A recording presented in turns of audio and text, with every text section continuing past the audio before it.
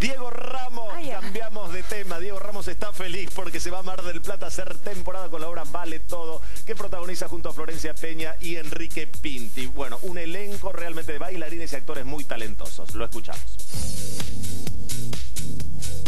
2 de enero en el Teatro Auditorium. Bien, el elenco todo igual. El elenco todo igual, eh, Enrique Pinti, Francia Peña, yo, Catarineu, Sofía Legado, Sofía Pachano, Mariano Muso, sí, Martín Salazar, o sea, es, un montón de gente y eh, orquesta en vivo eh, y, ¿cómo se llama? Y también bailarines y todo. Digo, es obvio que una comedia musical va a tener orquesta en vivo, pero, pero digamos, trasladar todo eso para te lo nombro porque trasladar todo eso para allá, vos pensás que somos treinta y pico, que todos tienen que tener, más allá de su sueldo, su lugar donde vivir, su comida, su todo. Entonces, es una jugada muy grande. Entonces, eh, yo estoy súper agradecido a Javier Faroni porque realmente ya hacerla en Buenos Aires era una, jugada y llevarla, trasladar todo eso para allá, que todos estemos cómodos y contentos, es complicado.